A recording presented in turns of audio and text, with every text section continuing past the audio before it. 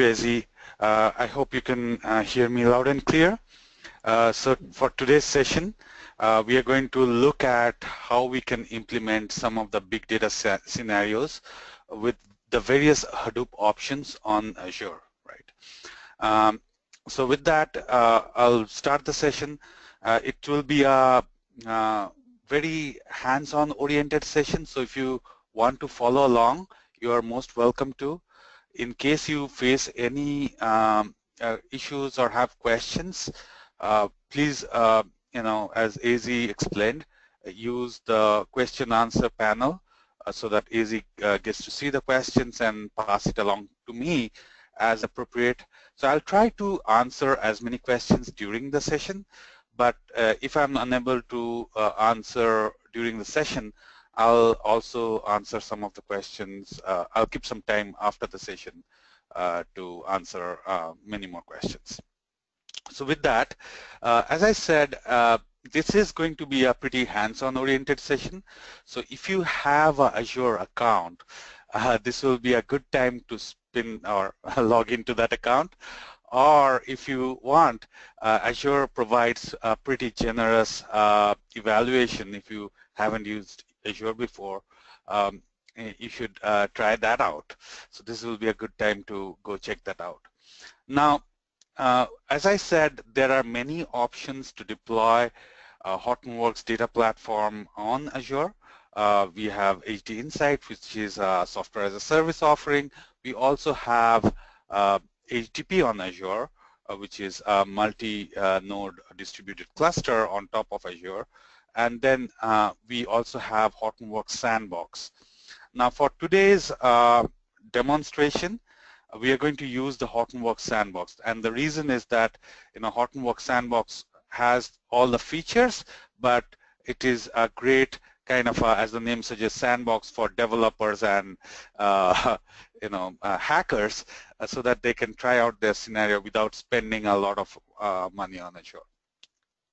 So if you go to hortonworks.com slash sandbox, uh, you can, uh, there's an option to also download the VM, but I would uh, strongly encourage you to, uh, you know, uh, use your Azure account to spin up Sandbox on Azure. Now with that, let me show you how to do that though. Uh, so let me stop the presentation. Let me go to the Azure portal. So this is my Azure portal.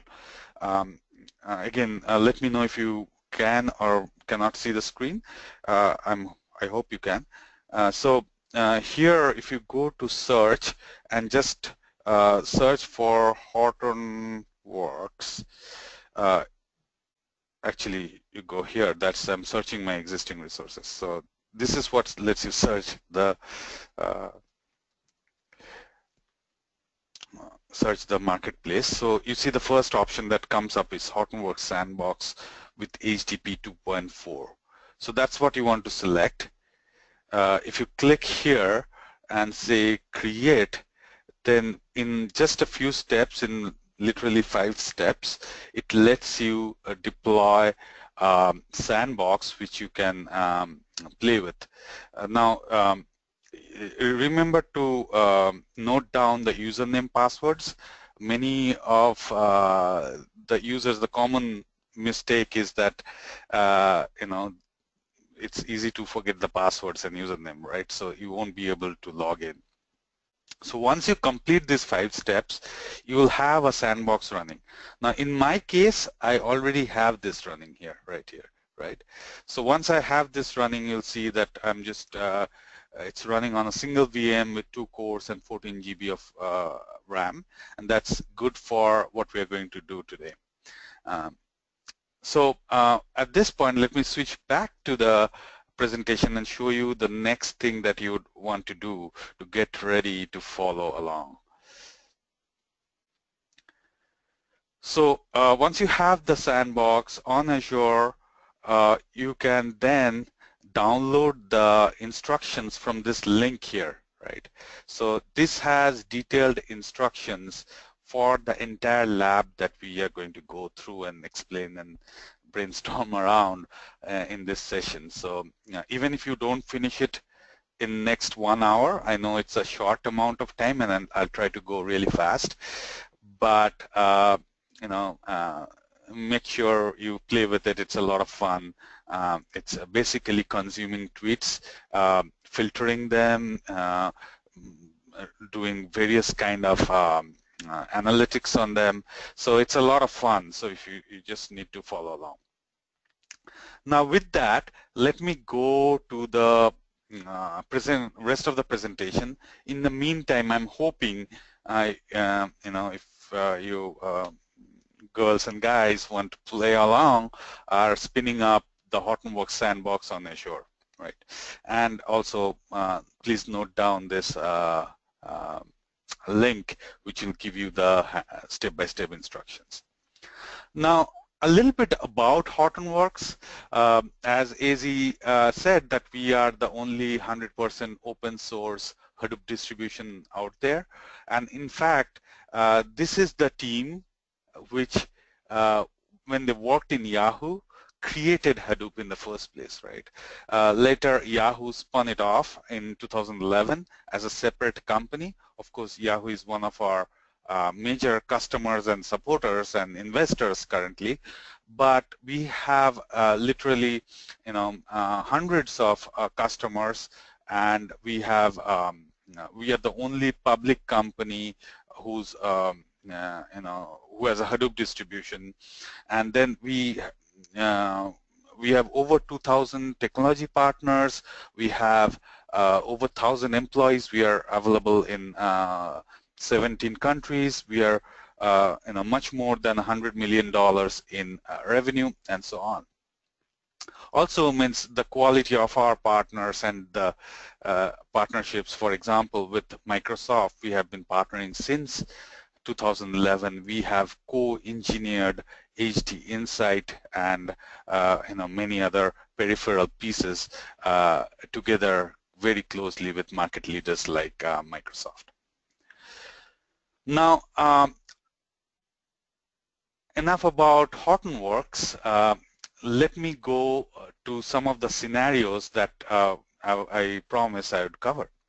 So one very common scenario is Internet of Things, right? And Internet of Things doesn't need to be just data coming from sensors. Of course, that's a very, very uh, important uh, you know, um, type of Internet of Things, but it could be mobile phones, apps in your uh, uh, uh, apps running on mobile phones in your pockets.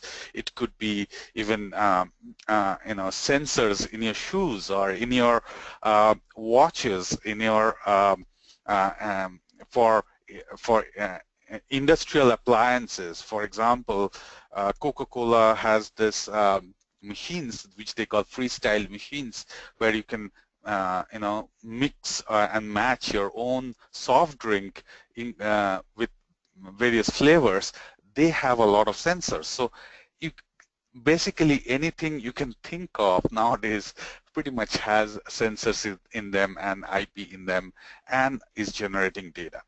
So that creates a whole new, you know, um, challenge so to say. Uh, before, we didn't have to deal with not just this volume of data, but how do we manage this data flow end-to-end um, across uh, various kind of uh, links, right? So you, you would um, imagine, let's say, if there was a Coke vending machine, um, you know, uh, I don't know, somewhere in the middle of America or uh, you you know take your pick of any continent, South America or India or uh, some other place, you can't assume that there will be a you know uh, consistent bandwidth and latency across the uh, network connecting to those devices, right? So you need to be able to uh, deal with those kind of uh, situations. So handling data flow end to end uh, across this kind of various kind of uh, uh, situations is very, very important. Of course, data at rest, uh, we know, has always been important, and that's one of the reason the core pieces of Hadoop was created. Of course, as after the core pieces were created, people found many more uses and the community kept enhancing it. And we are going to talk about that um, uh, in more details in uh, a future slide.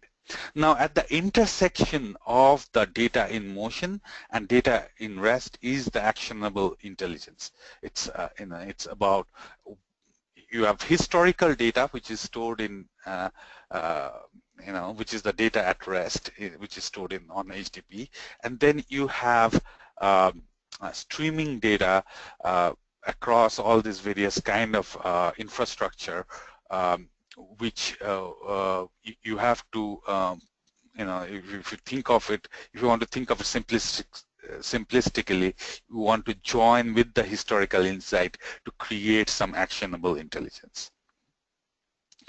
Now, um, I, I, mentioned HDF. Uh, HDF stands for Hortonworks um, uh, data flow.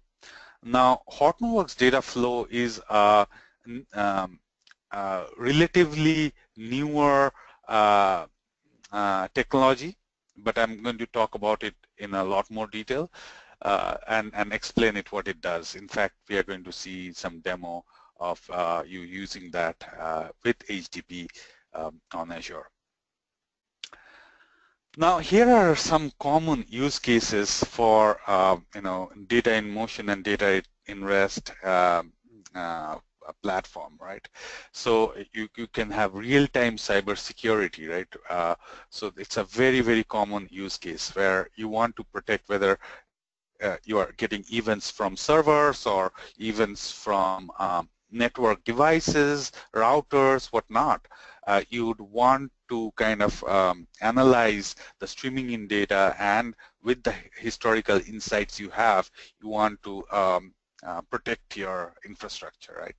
Smart manufacturing is again a very, very uh, common use case we see.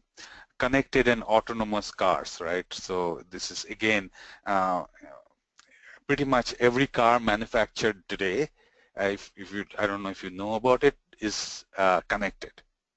You know, there are our dealers and manufacturers knows the various metrics on the car at any any point in time. Uh, farming, right? So there are sensors in the soils, in the fields, and you want to, uh, you know, uh, design your the release of uh, nutrients in terms of fertilizers, the release of um, you know uh, water in the sprinkler system and whatnot. You want to take preventative uh, measures against pests and everything, right? So this kind of farming um, uh, infrastructure is now uh, connected and uh, much and thereby um, resulting in much more productive fields. Automatic uh, uh, recommendation engines and we have all used recommendation engines right? So whenever we go shopping online or uh, nowadays even um, when I walk with my cell phone into a mall, I get alerts on my uh, phone based on who I am as to uh, discounts I should kind of take advantage of in the various shops in that mall. So that's already uh, happening and, and, uh, and this kind of a data infrastructure makes it possible. Now, when we think about data flow, we often think the data only flows from the sensors to the you know the store, the idempotent store, uh, where the data doesn't change and we can do all kinds of analysis uh, into uh, once the data gets to the data center. But the interesting thing uh, trend is that it's not just the data is not flowing one way. I'll give an example. Um, I was uh, a few years back, I was working on a project with the United States Geological Survey, and they distributed this uh, little sensors of the size of a cigarette pack to various homes uh, in California. And once you kind of strap those little devices on to some kind of a uh, sturdy pole or something uh, in your garage, um, they would pick up very, even very faint seismic activity. The idea was that they they are getting all this streaming data and that would let them better predict earthquakes or other catastrophic seismic uh, events right? So they were getting a lot of uh, false alerts because on all these sensors uh, there uh, you know there are different thresholds of seismic activity. And if the seismic activity cross those um, thresholds then it will you know throw an alert but uh, as trucks were passing by during commute hours or whatever it is, right? Uh, somebody drove a Hummer by, and then would, that would ge generate enough seismic activity in the neighborhood that will throw false alerts.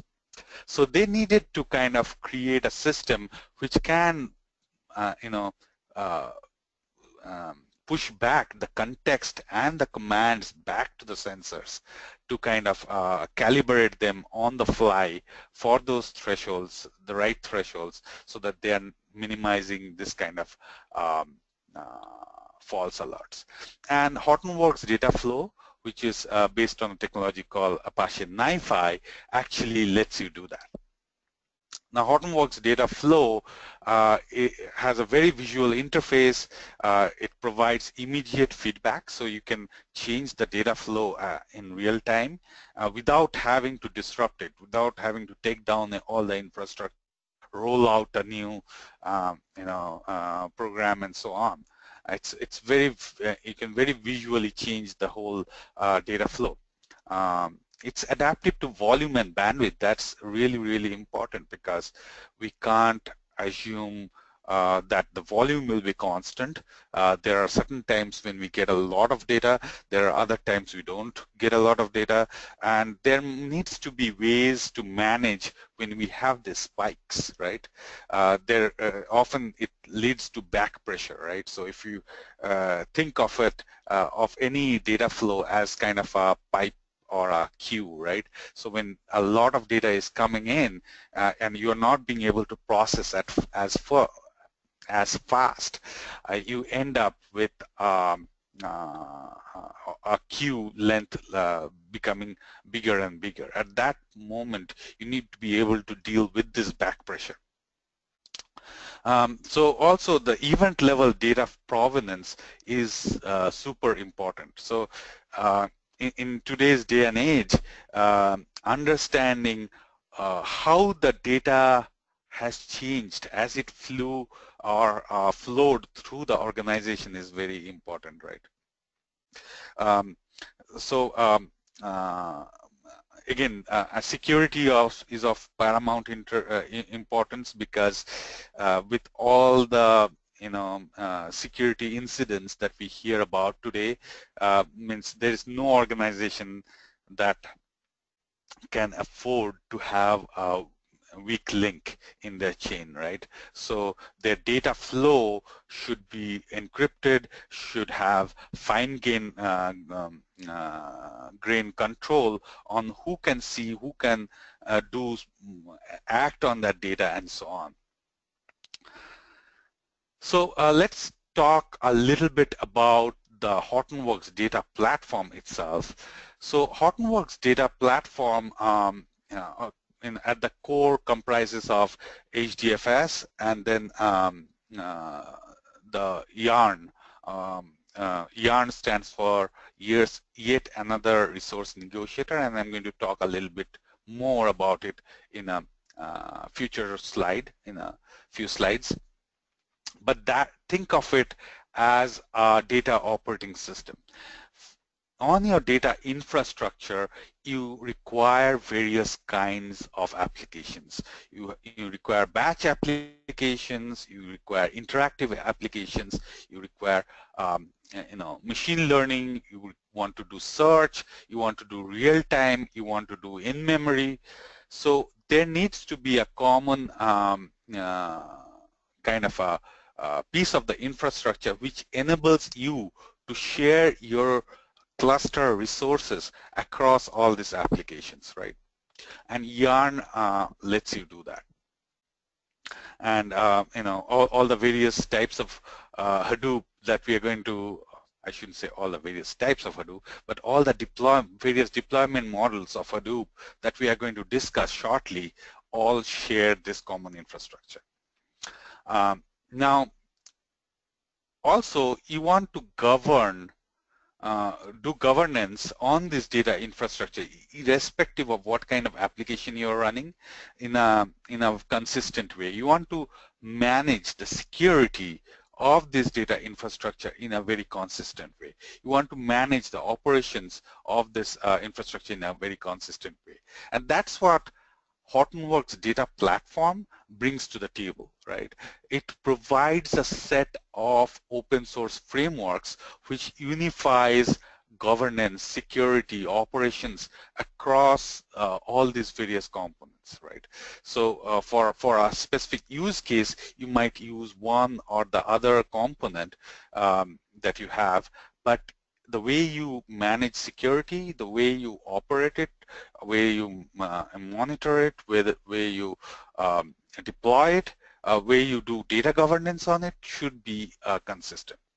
Of course, there are many, many deployment choices and many ways to interact with this infrastructure, uh, irrespective of whether you are using Excel, you are using Tableau, you are using um, other kinds of uh, um, data infrastructure that you already have in your organization.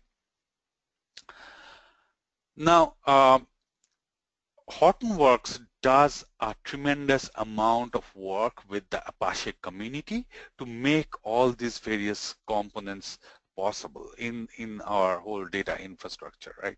So we have the majority uh, number of committers that uh, work on all these various projects. So thereby kind of we influence uh, we uh, the community and work with the community. We are kind of the um, uh, enablers of the community, right? Um, now let's talk about a little bit about the various deployment options. So uh, we have a, very robust hybrid story.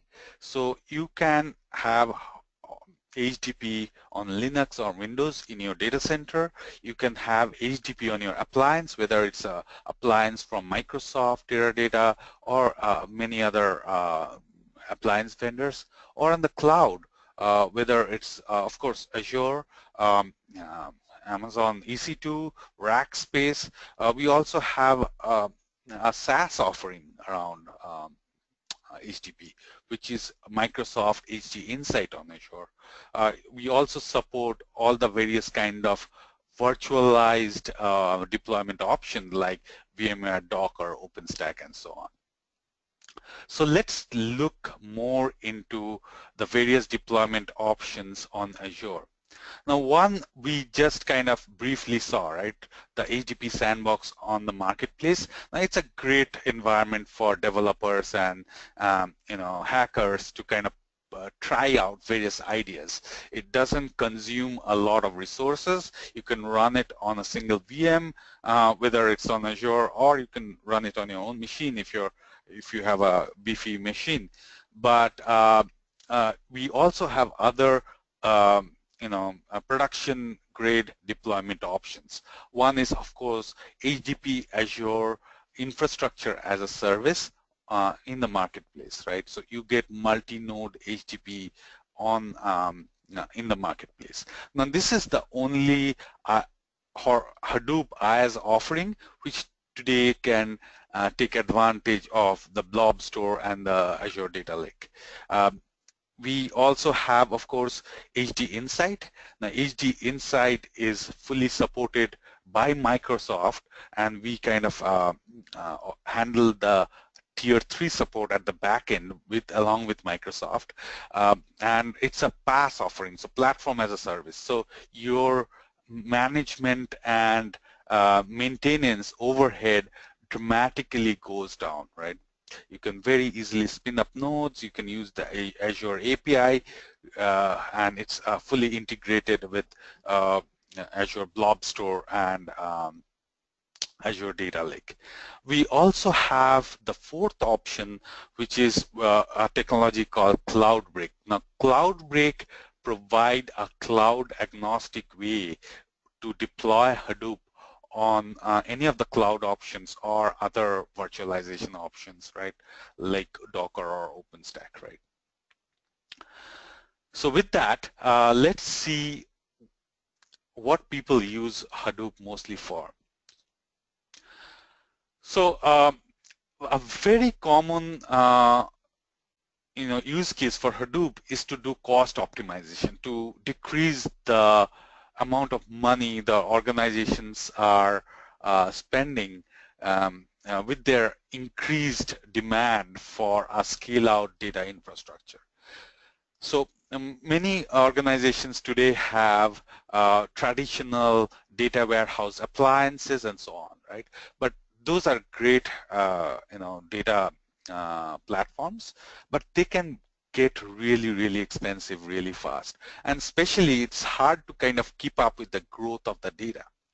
So that's where uh, with, uh, you know, very close Hadoop integration with all these appliances, whether it's from Microsoft or Teradata or others, um, you can very easily offload and archive many of um, uh, the workloads from your traditional data warehouse appliance to um, Hadoop.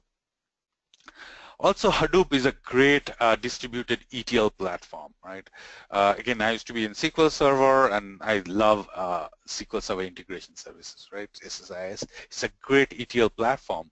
Um, one of the common complaints we used to hear from customers is, hey, can I scale this out? And, you know, Hadoop provides a great scale-out ETL platform, irrespective of which vendor you have your rest of your data infrastructure for. So that's again a very common use case. The third use case is the enrich the value of your uh, enterprise data warehouse. There are certain kinds of data, for example, log data, uh, for example, data from IoT uh, kind of devices and so on. Um, uh, you know, they are better, uh, they work better um, on the Hadoop platform because Hadoop platform is best better in dealing with semi-structured or unstructured data. And then when you marry that with your traditional data warehouse, the uh, value of your uh, enterprise data warehouse just kind of uh, uh skyrockets. So here is a case study when, uh, with one of our customers. By the way, we have uh, you know quite a few customers. Pretty much all the telecoms in North America um, are our customers. Uh, you know, 70% of the retailers are Hortonworks customers, and and so on. So, uh, but this is just one uh, case study. It's a public case study. You can look up uh, more details about it, just you know, uh, Google or Bing, um, uh, Hortonworks and TrueCar, and you, will get more details. Where in just 12 months, they uh, um, grew from a very small cluster to a 60 node 2 petabyte cluster. Their storage costs uh, plummeted from um, uh, $19 per gigabyte to $12 uh, per gigabyte. One of their execs actually said that, you know, uh, betting on Hortonworks data platform as their core enterprise data platform was crucial uh, for uh, uh for them to achieve their IPO within 12 months of betting on this platform. Now, um, I talked a little bit about Hortonworks data flow.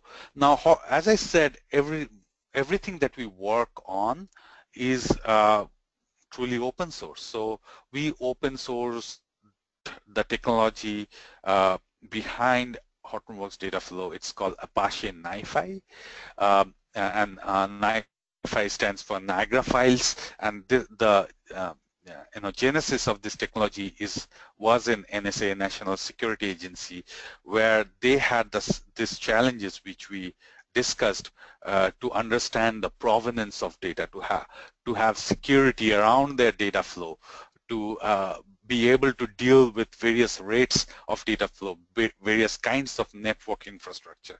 So they developed NiFi and, and then the team spun out um, into a separate company called Onyara, and then we acquired that company Onyara, and uh, now it's a, a you know top level Apache project.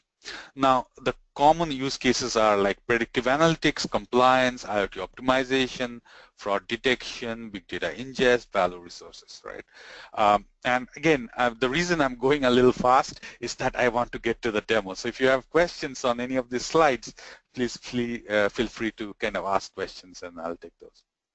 Uh, one of the most common um, uh, use case is log optimization, right? So often uh, there are various log analytics platform. Uh, traditionally, they have scalability issues or they are extremely expensive. And HDP uh, married with HDF, uh, as we discussed, can become a perfect complement or a replacement of this kind of platforms. I spoke about a little bit about the yarn uh, or the and the heart of Hadoop uh, data platform.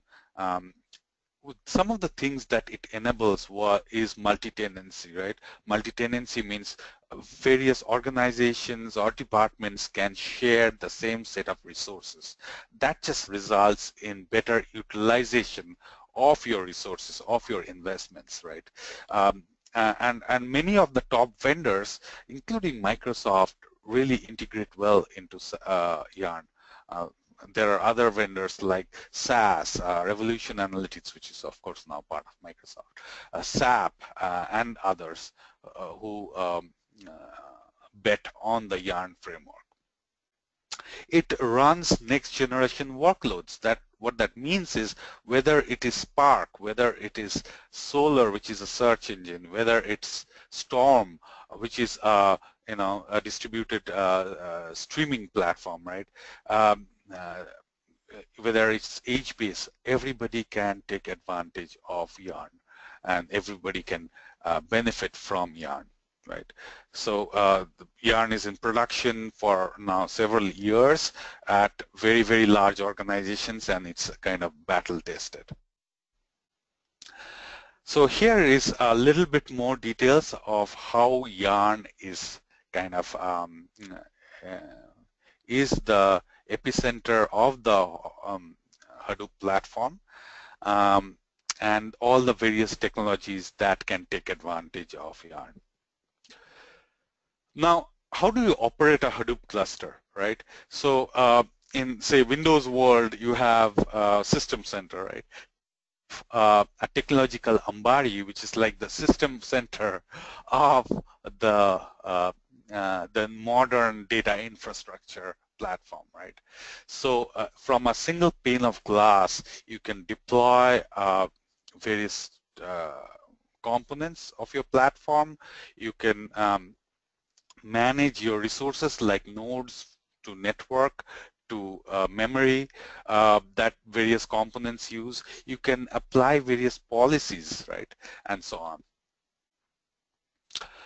So I'll, I'll actually show you a little bit of how to use it and um, let me move along because I just have 20 minutes time, right?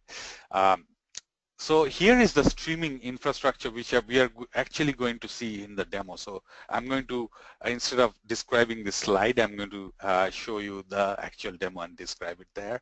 Um, uh, and here is a very common um, architecture for uh, today's data platform. It's it's often called the Lambda architecture. It's uh, it was uh, proposed by Nathan Marz of Twitter, where you uh, divide up uh, your data infrastructure into three separate layers, the batch layer, the serving layer, and the speed layer. So batch layer is has your idempotent store, so all your data that comes in uh, goes to that store, right? And then you have pre-computed views on it, right? But those pre those uh, computation of those views happen in batch. That's why it's called the batch layer, right? And then um, as they're uh, computed, uh, they can update the business views, which then can connect to uh, the query components like Excel or Tableau or any other dashboarding solution.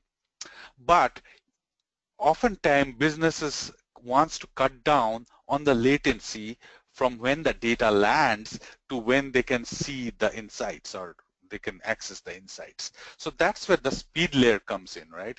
So as data is coming in, you can take decisions in real time. Um, of course, you can't do as deep analytics as you could in batch layer because deep analytics needs time. But you can, um, you know, um, uh, based on the batch layer, you can uh, configure your speed layer to do, um, you know, shallower analytics and but provide you timely results and uh, um, with the incremental views update your business views which again is then exposed through the query uh, components. Now here is a much detailed uh, uh, kind of architecture diagram and I'll let you kind of, it's pretty self-explanatory so I'll let, let you uh, explore this uh, later but let me go back to the demo and if after the demo we if we have time I can come back and explain this uh, a, a, deep dive into this a little bit more right? So um, let's switch to the demo. So uh, here what I have once you have the sandbox set up if you go to uh, uh port 8888 give me a second to load this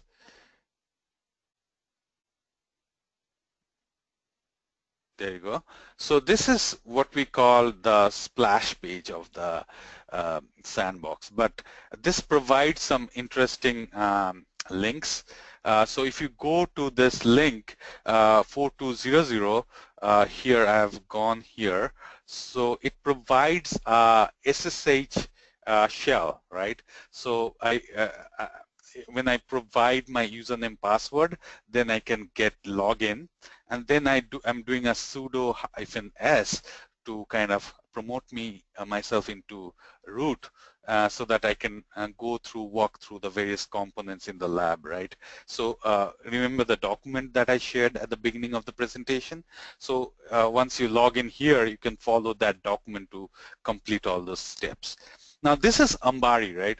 So this is uh, once uh, again in on any Hadoop, Hadoop cluster, whether it's HD Insight or the Hortonworks Sandbox or HDP on Azure, it's the same management uh, environment, right? So this provides all the various components. Uh, I, in fact, I uh, uh, just before this session, just to save time, I in, um, uh, installed the NiFi component using action add service um, and you see that uh, sorry about this uh, NiFi is already checked which means I have gone through the wizard and um, and uh, configured NiFi as a service on my uh, little cluster here. Uh, it also provides um, uh, various kind of views like I can do have a Hive view basically I can type in SQL commands and so on um, and I can also do various kind of configurations here uh, for various components. For example these are some of the yarn configurations right? So uh, again, if you want to know more, a very uh, useful place to go is hortonworks.com slash tutorials. Uh, they have plenty of tutorials around all these technologies. So uh, you'll be busy for quite some time just exploring the various components of Hadoop. But with that, uh, I because I uh, configured NiFi, let me go to the NiFi. Um, so uh, I go to the same public IP where my sandbox is running and then port 9090 slash NiFi, I get a blank screen like this. It kind of looks like a Visio screen. Uh, so and, and it's meant to be like that. So the key thing to note in this thing is this, these are called processors. So if I drag this and drop this here, I'll see a list of things that I can do. For example, if I want to read a file, so I, see, I just search by file, um, uh, so I see this one, get file. I can read a little bit more of what it does. And if I say add, um, it will drop that processor uh, on the screen. Now I can configure it I can put in things like uh, you know, what's the input directory? Let's say I put in temp, TMP, right? Um, uh, okay, and, and apply, and, and then I can put in another process which where the data will flow to. So in this case, let's say I want to do something very simple. I want to just store it into HDFS. So I say HDFS. So I say put HDFS is my command that I like. So you can see it's very drag and drop. So again, now I want to put um, in the um, uh, uh, slash temp directory. The by the way, the ones which are uh, in bold, they are the required fields. So I uh, I want to put in slash TMP on HDFS. So that is different from the uh, uh, slash TMP um, on the local file system. Now I can drag, drop, and connect this to and say add. Now the you know I have a very simple data flow, but um, you know let me actually uh, show you a more sorry about that. Ooh, I inadvertently uh, hit the back button. I can delete this uh, and let me put in a, uh, in a more realistic uh, data flow, uh, which is a little bit more fun. So I can put in templates. So here, um, if you follow the instruction, I shared a template, I, which is basically an XML file. So I can say, okay, select this Twitter dashboard slash XML, and if I hit import, it will be imported. Now, which I have already done, so that's why it's showing up here. So once I've done this, um, I can go here and drop on my um, uh, on my uh, kind of uh, worksheet, and then I can say add, and here is my uh, Twitter dashboard group. Now it has a bunch of processors. If I double click on it, I can look at those. So I can again um, pinch to zoom and all those things work. It's a very uh, this is an older UI actually. The newer UI is even more slicker. Uh, but having said that, so this is uh, again a very simple data flow. What it does is it's grabbing data from Twitter, it's uh, extracting some of the attributes, it you know filters out any of the blank tweets or corrupted tweets, and then puts um, on one end puts it in Solr. Solr is, as you know, is a search engine, uh, and on the other hand, it kind of um, reformats it so that we can put it in Hive and do interactive queries on it, and then uh, it does uh, uh, merges the content, and then uh, it uh, stores it in the local file system as well as it's uh, storing in in HDFS. Now, as you know, HDFS is a distributed file system, which is kind of a network storage in most cases. and let's say there is um, you cannot be assured of the link between uh, where this is running, where HDF is running and HDFS. So we have also configured it uh, for retry. Now you can do all this simply without writing a sing single line of code, just by you know right clicking and saying configure and changing values essentially. So let me show you how I configure it actually. So let me go to um, uh, dev.twitter slash apps because I need the Twitter keys. So I have this uh, app set up. I'll go to the keys and tokens and uh, here are all my keys. So um, I'll uh, let me copy this, the consumer key, um, and go to the workflow and go to properties and you see the consumer key here. Make sure you're copying it correctly, not copying it uh, kind of uh, uh, part of it. So again, this. And here, consumer secret, and then go back and also uh, put the access tokens. I'm doing a live demo, so uh, there's always a chance uh, I'll do something wrong under pressure. Okay, and access token secret. Make sure you don't copy the space, right? So that's the thing I want you to be careful about. Access token secret.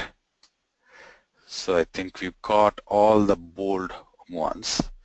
And um, so here is the other part. So I'm just uh, filtering on the tweets which has these keywords like AAPL, ORCL, GO, GMSFT, DEL, right?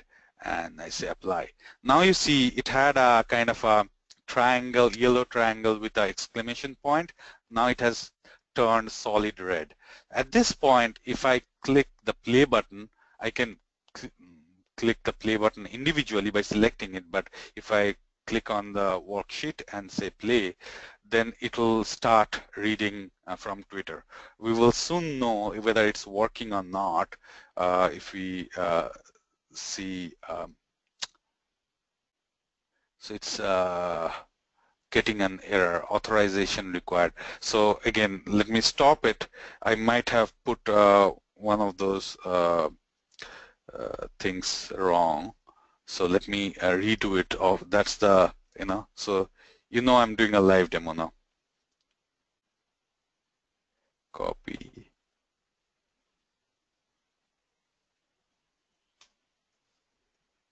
Okay. Consumer secret.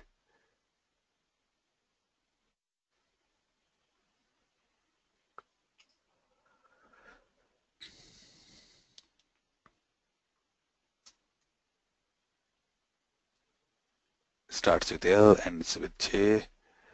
Yep. And then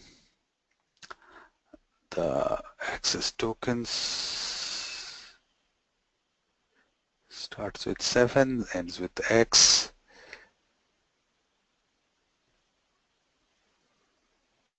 Okay, not this one. So cancel C. Yeah, I think that's what, uh, that was a mistake. I think like we overwrote consumer secret twice. Yeah. Okay, got it. Yeah, so thanks, Easy. Easy, you're watching it. yeah. uh, closely, thanks. Yeah. Thank you.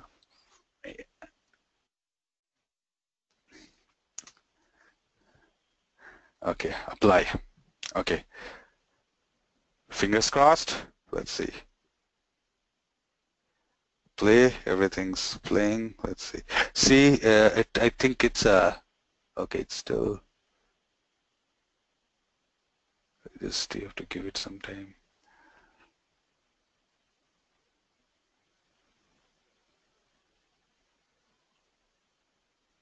there you go uh, yeah so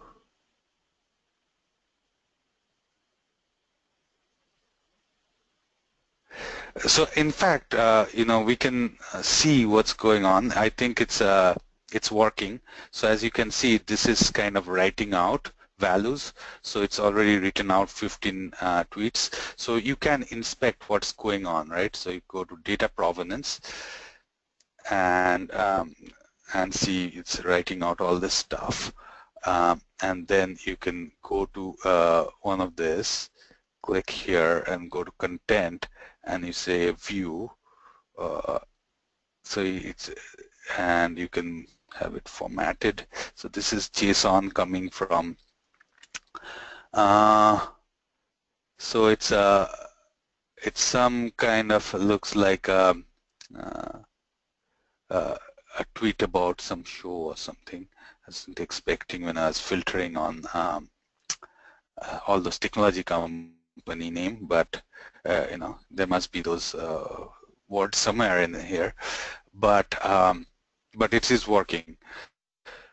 So let me explain while it's in play as to what's happening here. So in this key, this is the key thing that I want to explain. Uh, note here that here there are 21 uh, tweets which have come in and only two has gone out, right? The reason is, you know, we are in this one, we are merging several tweets into a single file and then dropping it into HDFS because HDFS doesn't like a lot of small files. It loves a few big files and and that's what we are doing, right? So uh, and, and, you can see the similarly it's all going to Solr as well and we can actually see what's going into Solr because Solr um, comes with a dashboarding technology called Banana and hopefully this is kind of updating as we speak so in real time so. Fingers crossed live demo right? See? So the tweets are coming in. So the top twitters are uh, person live called Puzo Khaled Bakau Dove Danks Richard and so on. So you can see uh, it started, the tweets are flowing in, what's the rate and so on. And you can customize this um, dashboard uh, to your heart's content and not just this uh, because this is also going to HDFS now you can pull up Hive you can pull in Zeppelin which is a dashboarding technology to do um, various kind of data analytics in fact talking about uh, sentiment analysis, we actually have a, a, tutorial on this same data. So if you just scroll down the you know the the section above is just kind of what we have been doing but here if you come to the bottom uh, they actually walk you through how to use a Zeppelin a notebook uh, which is basically running um, uh, a Hive query uh, getting the uh, getting all that data here and then uh, visualizing it, right? So you can do much more interactive what if analysis here. So with that, uh, I think I have four more minutes. Uh, we barely made it in time. Um, unless uh, there are other questions. Uh, Izzy, do we have some questions? Yes, um, there's a question actually like um, in one of your slides you uh, covered a case study related to TrueCars. Right. Um, there you had like um, you brought uh, through optimization you brought the cost from 19 dollars per gigabyte to 12 cents a gigabyte or something. Right. So the the question is related to that like uh, uh, what is the typical data size for cost optimization? That is whether customer would see cost benefit on 300 gigabytes enterprise data warehouse or 3 terabytes enterprise data warehouse. Uh, typically, these are in uh, terabytes range. That's where we see the most uh, cost savings. But having said that, uh, a lot of our customers get started early on a, uh, on a smaller proof of concept so that they have infrastructure which they know they can organically grow, right? So they, they can spin up a smaller HD Insight cluster on Azure and start kind of migrating some of the workloads there so that they know as they uh, are ready uh, to make it bigger and big bet bigger and bring their main uh, data sets on they they have the right skills and and and the right applications to go with it. The other aspect is a lot of people use Azure as um, or HD Insight on Azure as a geo-redundancy uh, uh, tactics. So basically with um, Apache Falcon, you can set up a replica of your on-prem HDP cluster on the blob store, right? So once, let's say you have a, a big cluster on your uh, data center. Now you set up the uh, uh, incremental replica on the Azure Blob Store as um, and when you get spikes in demand for your um, data platform, you can quickly bring, uh, bring up a temporary HD Insight cluster, do that processing, and as soon as uh, you know that uh, spike in demand goes away, you can very easily tear it down and uh, without uh, incurring uh, constant or permanent cost, infrastructure cost, right? So, -huh. are there other questions? Um, I think like we're kind of running out of time. So okay. in case if um, if others have questions, yeah, please feel free to um, send your questions uh, to Saptak. Um, we saw his uh, tweet handle earlier at Saptak, so feel free to send your questions. So absolutely, yeah. It was a uh, a great opportunity to present to you all. Uh, please keep in touch and uh, I go to the next slide. Sure. Right. Um, and yeah, make sure to stay tuned for our next session using JSON with SQL Server 2016 with Steve Hughes. And uh, thank you all for attending and look forward to seeing you all at the upcoming PASS Summit in October. Thank you. And thank you, sir. Fill in the survey. Yes. Yeah, your feedback is very important actually. So we can use that to um, see like how we can do better in case if you found some issues. So thank you all. Thank you all. Bye.